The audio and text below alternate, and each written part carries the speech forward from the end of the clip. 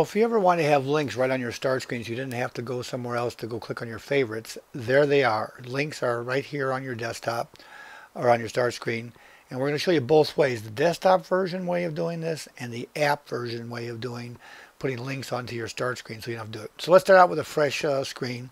I clicked on Internet Explorer and I happen to be set up to go to the app version because I like the new app version actually.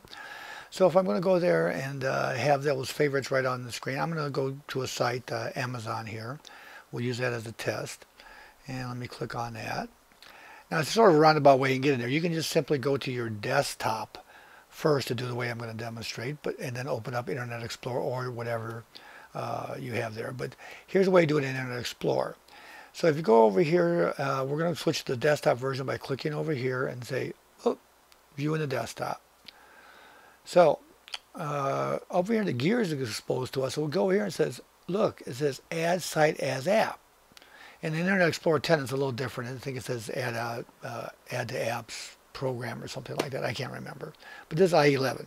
So sure enough, we go down here to the installed apps. There it is under the uh, date installed. I have it sorted by, and there it is pinned to start.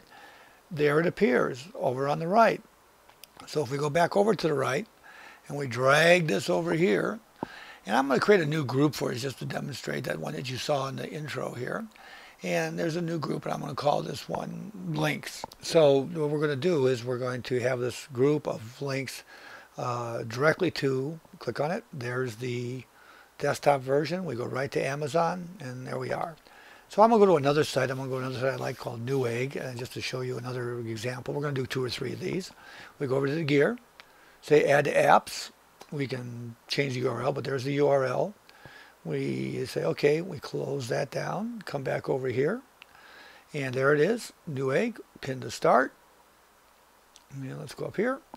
Sure enough, there it is. We grab it, drag it over here to here, and now we have a, another one.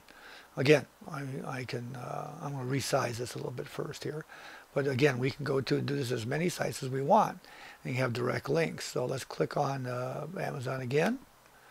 Uh, go over here. Let's try a different site. Let's try CNN. Go CNN.com. We go here and say add site. Boom. Come over here. Come back over here. Go to the new apps installed. There's CNN. Pin to start. It appears over here. We grab it over here, throw it in over here with the other links. And we can continue to manage this and do this as however you want it set up.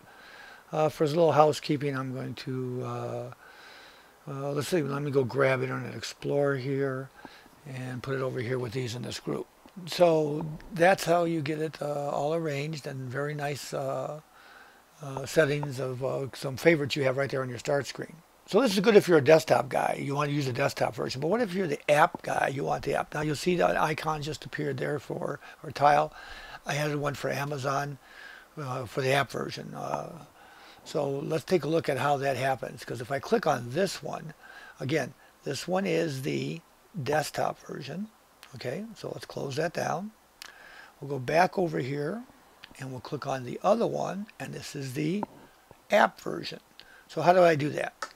Well, you simply start out going to your app version of IE. Uh, and some you have to be sure you're configured to go to that. Uh, but let's say you are already. That's a different video. But you can't click anywhere here, can't do anything here. It's a little bit of a secret how to make that uh, stick. Well, if you go down here to the bottom of your screen, you'll see this star.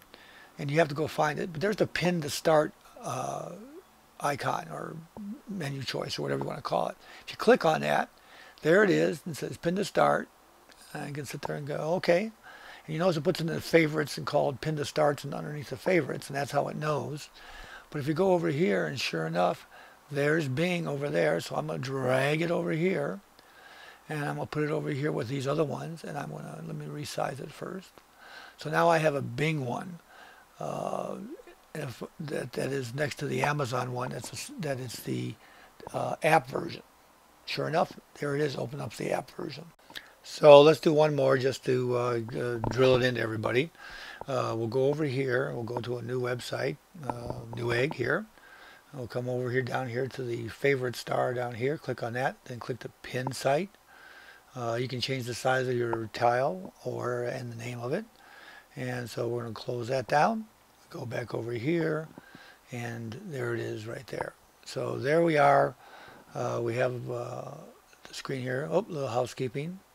Uh, so there we have now we have three of those that are actually go to the desktop version or excuse me the app version and four of them that go to desktop.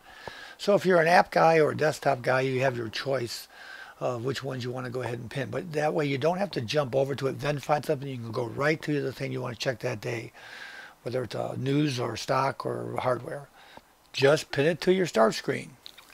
Hey, for more great tips from Old Guy Geek, don't forget to subscribe. Uh, share it with your friends on Facebook or Twitter. Uh, take a look at our playlist Windows 8 playlist, Windows Phone 8 playlist, and a general how to. And of course, our latest uh, feature video. And thanks for watching.